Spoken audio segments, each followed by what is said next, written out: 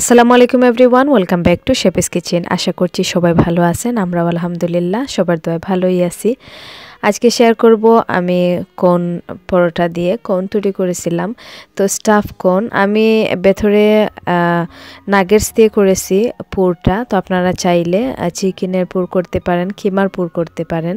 তো আমি পরোটা দিয়ে কীভাবে কোনটা তৈরি করেছিলাম, এটা আপনাদের সাথে শেয়ার করব। কীভাবে আমি কোনের ভেতরে যে পুরটা তৈরি করেছিলাম, ওইটাও শেয়ার করব।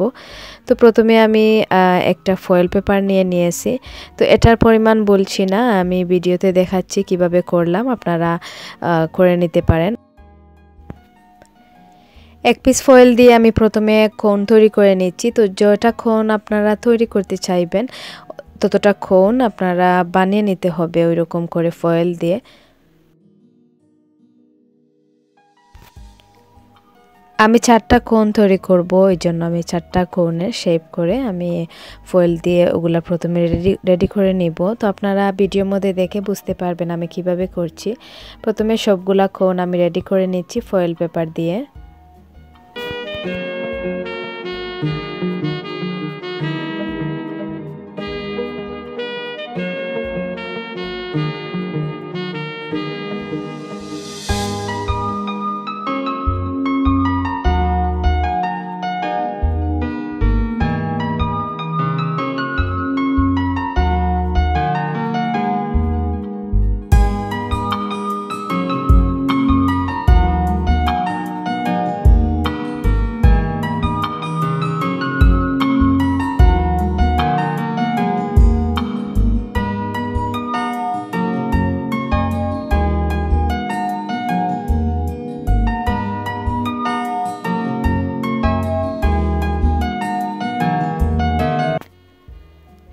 আমার সবগুলা কম রেডি করা হয়ে গেছে।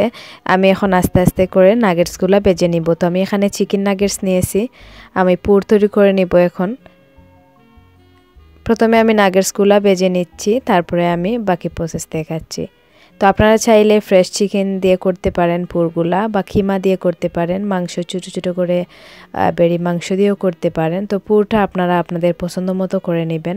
তো একটা ফ্রাইং প্যানে পরিমাণ মতো তেল দিয়ে দিলাম, তারপরে পেঁয়াজ কুচি দিয়ে দিয়েছি, লবণ দিয়ে দিলাম পরিমাণ মতো। দিয়ে ভালোভাবে নেড়ে চেড়ে আমি ডাকনা দিয়ে ডেকে রেখে দিব যাতে পেঁয়াজটা সিদ্ধ হয়ে যায়। ওইদিকে আমার নাগেটসগুলো বাজা হয়ে গেছে। তো ওগুলো আমি তুলে নিচ্ছি। একটা টিস্যু পেপার দিয়ে দিলাম যাতে তেলগুলা সক করে নেয়।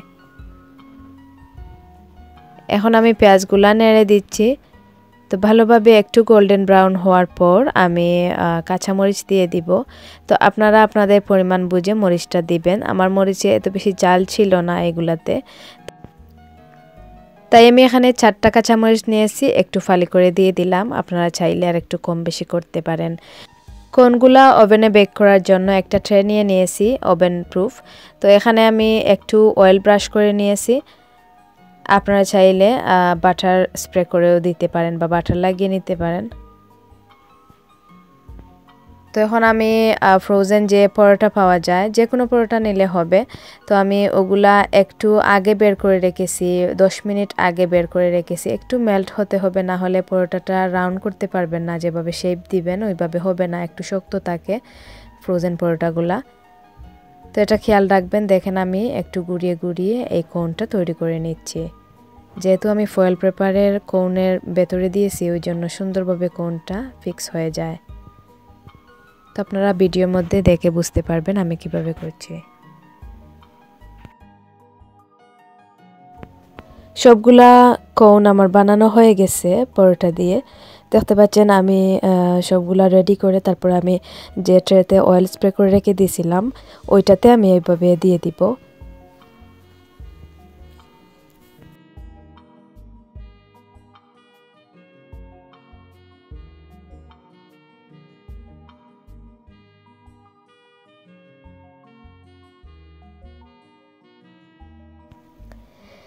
ট্রেতে কোনগুলা রাখার পর আমি একটা এগ ব্রাশ করে নিয়েছি। দেখতে পাচ্ছেন ব্রাশের সাহায্যে একটু ব্রাশ করে দিচ্ছি যাতে আমার ওভেনে বেক হওয়ার পর একটু গোল্ডেন ব্রাউন কালারটা সুন্দর আসে। তো এখন আমি ওভেনে দিয়ে দিব ওয়ান এইটি ডিগ্রি সেলসিয়াসে পনেরো মিনিটের জন্য। তো আপনাদের একটু কম বেশি লাগতে পারে। তো এখন আমার পুরটা রেডি করে নিচ্ছি। আমার নাগেটসগুলা করার পর বেজে নেওয়ার পর আমি ছোটো ছোটো করে কেটে নিয়েছি তারপরে পেঁয়াজের ভিতরে দিয়ে দিলাম। তো এখানে আমি মশলা পাউডার কিছুই দিচ্ছি না। শুধু অনিয়ন দিয়েছি আর কেচাপ দিব এখন, আর একটু মায়োনাইজ দিব। এই তো আমার পুরটাও রেডি হয়ে যাবে।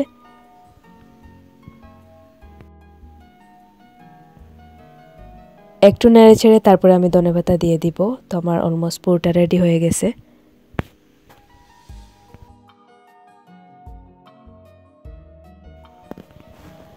কোনগুলো আমার বেক হয়ে গেছে, দেখতে পাচ্ছেন, খুব সুন্দর কালার এসেছে।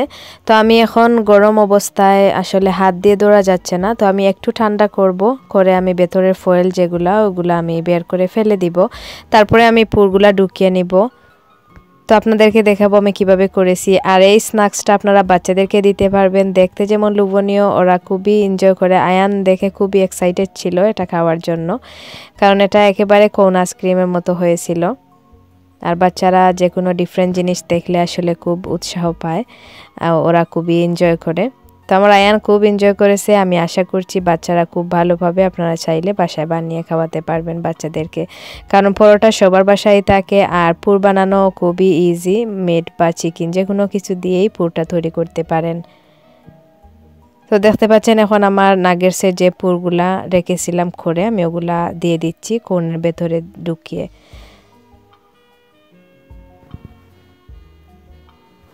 উপরে একটু ধনে পাতা দিয়ে দিলাম। দেখার সৌন্দর্যের জন্য এটা একেবারে অপশনাল আপনারা না দিলেও চলবে। তো আমি সবগুলা ওইভাবে রেডি করে নিচ্ছি এখন। তো আমার আয়ান একটু হেল্প করছে কোনের ভেতরে চিকেন ঢুকানোর জন্য।